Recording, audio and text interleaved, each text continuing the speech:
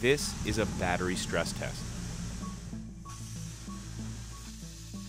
And the results are pretty clear. Do not try this at home. In recent years, lithium ion batteries that power our phones, our laptops, and our Teslas have exploded, causing serious injury and, in a few cases, death.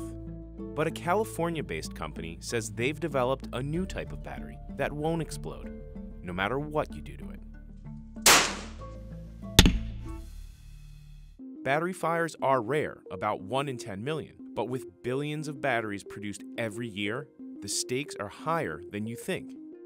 Electric cars and e bike sales continue to grow rapidly, and we're likely to see more massive batteries being used to store renewable energy for homes.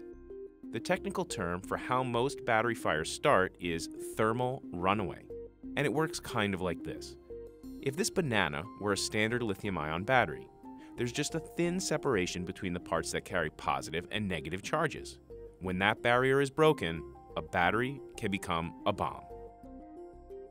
A new technology is like a bomb squad inside the battery, stopping a fire before it starts. Amionx invented a technology called SafeCore. It's a fuse that goes within the battery cell itself. SafeCore adds an additional layer, kind of like placing this deflated balloon between the banana skin and tinfoil layer, which represents the current collector. If a battery fails, SafeCore creates a physical gap to safely stop the flow of electricity. SafeCore was originally developed for batteries that soldiers use to power their communications equipment. That's why it needed to be bullet safe. If somebody was wearing that, they'd be on fire right now. SafeCore starts with this black goo.